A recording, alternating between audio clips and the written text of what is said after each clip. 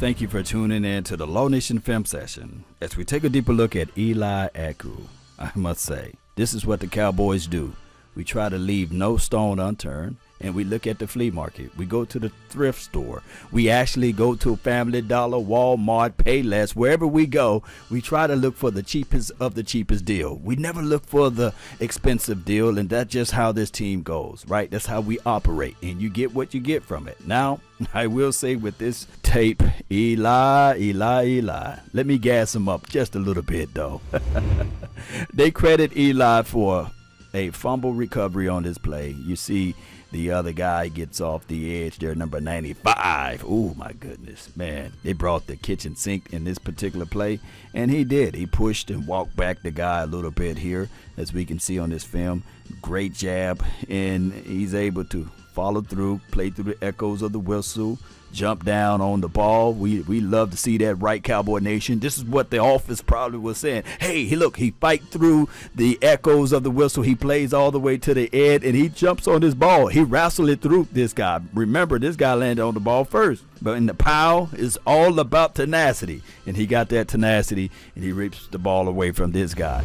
On this particular play, he walked him back. He walked the guy back. He's playing the one tech right here. And it's the one on one isolation. And you guys know why he get the one on one because they got a Calais Campbell. They had the uh, Yannick kid out there as well. But he walked this guy back and he earned his sack because Mariota held on to the ball forever. So let me gas him up a little bit. Let me gas him up. Yeah. he walked him back and he get credit for this sack. Now, he had multiple numbers with this particular team. He played with number 54 and he also played with the number 99. So on this particular sack, he played with number 54. Shout out to him, man. And on this play, now he's number 99.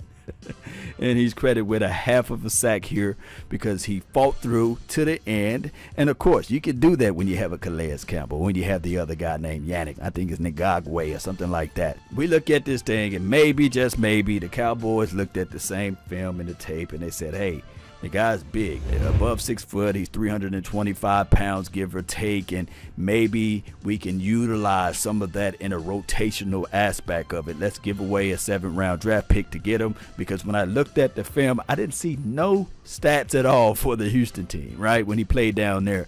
So he played for the Browns. He wore number 91 there, and he played for the Jaguars. He wore number 54 and number 99, and he had a sack and a half and he was pretty much bounced around from team to team from the stretches of 2017 until now. So he's on the Cowboys roster. Let's see what we can do with him. Like I said, he is a bargain deal. Not to look for him to be uh, a Russell Maryland, not to look for him to be anybody of, of a Snack Harris, dare I say, or anybody that can really push the thing back. Hopefully, and I mean just that, maybe a change of environment, maybe a new team, a new structure, maybe playing for the America's team with the star on the side of your helmet. He can wake up and beat somebody, right? PVO, PVO, right? Positive vibes only. Uh, nevertheless, the reality of it is that maybe eh, he's a bargain deal.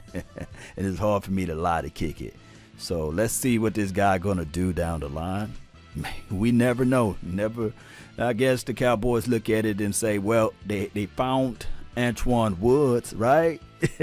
Leave no stone unturned is the philosophy. Jerry Wayne Jones, Stephen Jones, and company. That's their philosophy. Let's go for bargain basement deals. And I, I never seen a coach, I never seen a coach say, hey, I cannot develop this guy, right? All coaches look at it as a challenge. Remember, coaches look at everything like this. They love to develop players. That's from the coach's perspective.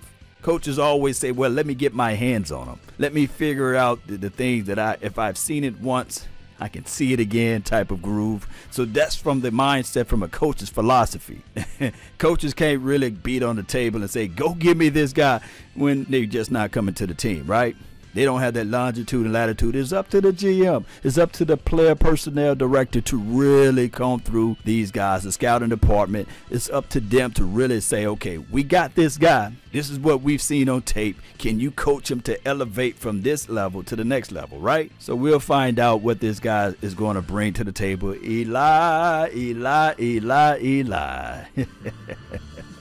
let me know of your thoughts. Let me know how you all feel of Eli. And let me know whether or not you guys like the Walmart philosophy or, or the family dollar, the Dollar Tree. You shake the Dollar Tree, maybe some dollars fall out, right? Let me know how you guys feel of everything that's been my time. I really thank you all for yours. And remember, you're listening to nothing but the best. Gas them up, baby. Gas them up, baby. Let's go, baby. Eli, let's go. Let's get them sacks, baby. Push that pocket back. That's what your big boy's supposed to do, right? Gobble down. Gobble them up, baby. Let's go.